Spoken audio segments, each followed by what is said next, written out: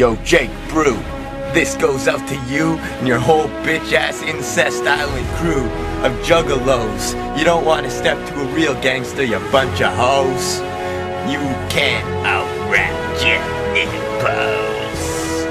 The basic difference between me and Jake Bruse is this. He's an average rapper. I'm an average rapper. He says anyone can rap about fucking ducks and jacking off, but nobody does. But his topics are mainstream like Mac D, the cock sucking faggoty Mac D. Sorry, Mac, but your topics stink. Rapping about cancer. What are you, Terry Fox, man? But anyways, Jake Brew, you and your bitch ass island crew, shut your mouths, you little hoes. Nobody cares what a 15 year old juggalo has to say. Especially because you live in a fucking washed up retirement town. Nobody knows who you are. There's probably 150 people there at the most. And uh, face the fact, 75 of them are old fucking seniors. You're a nobody kid.